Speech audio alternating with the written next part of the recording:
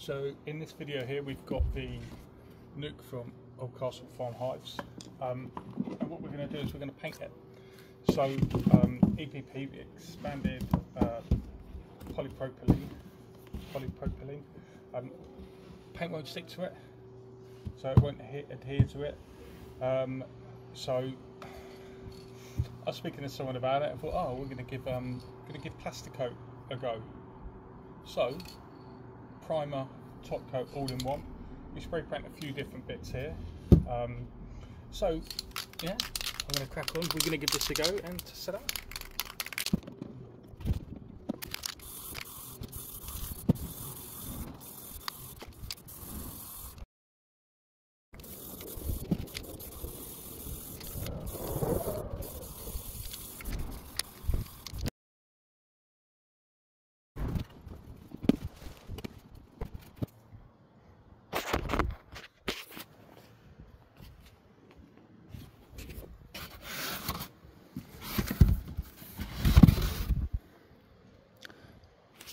So a few hours later, um, I've just put the uh, spinners on, the entrances, and you can see how the little nicks, the paint has just come straight off already.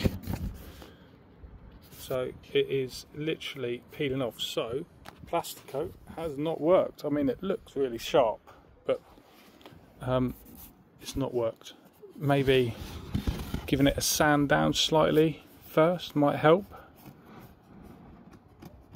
That, that could be something, but look, yeah, it's just peeling off. That's a couple of coats and a few hours in between. So uh, maybe a sand down, just grit it up a little bit, then spray, but otherwise it's not taken. So there we go.